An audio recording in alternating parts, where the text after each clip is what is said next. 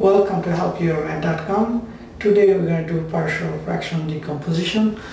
First example we have and say write partial fraction decomposition of x minus 9 over x times x plus 9. This instruction given here do not solve it. So that's the first step. So first we will write the expression x minus 9 over x times x plus 9 which is equals to we look into the bottom, see if we can factor the denominator. x cannot be factored any further. x plus 9 cannot be factored any further. So using these two factors, we can say first factor of this is going to be x. Next part is going to be x plus 9. We write x plus 9. Now what goes on the top to separate x minus 9? Well, we're going to bring some constant and constant since this is a linear term x so the difference between top and bottom should be one degree. So on the top is going to be constant just so we can call any letter a. And next one we also see is a factor of this whole thing. So when we put on the top what we're going to put is a linear term also we just write b.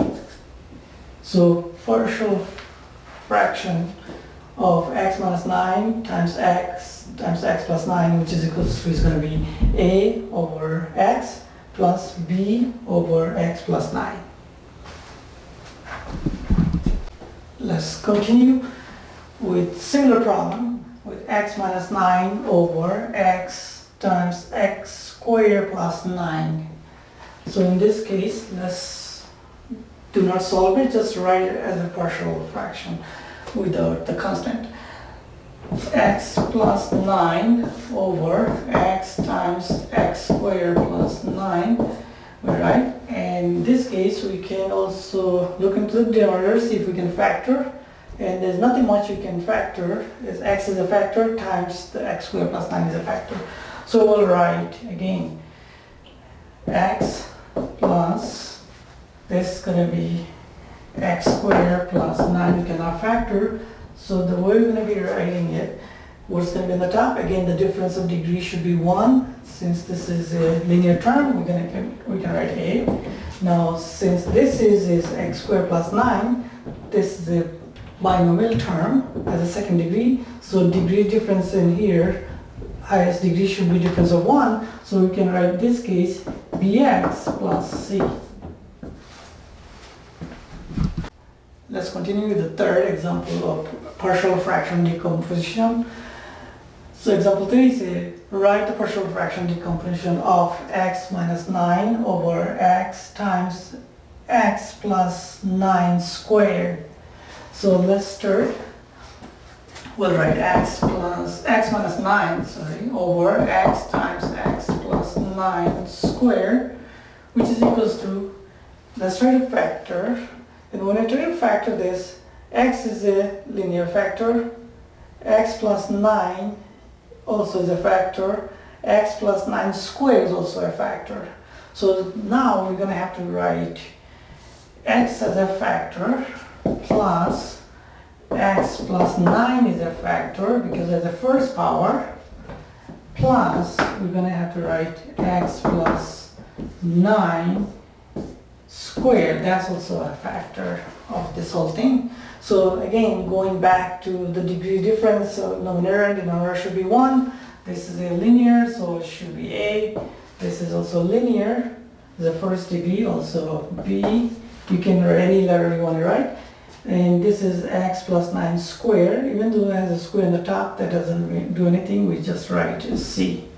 It's a linear factor.